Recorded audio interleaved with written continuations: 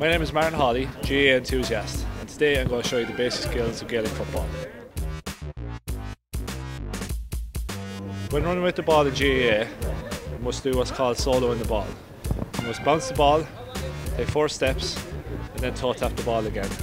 You cannot bounce the ball twice in a row, or it's a free against the team. When picking the ball up off the ground, you must place your toe underneath the ball pick it up in the scoop in action. If you don't place your toe underneath the ball, it's a foul against you and a free to the opposition.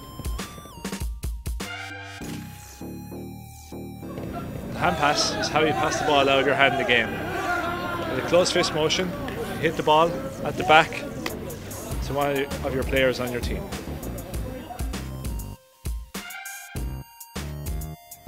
Kick pass is also another form of pass. You kick in motion, put your foot behind the ball, kick it into your teammate's hand.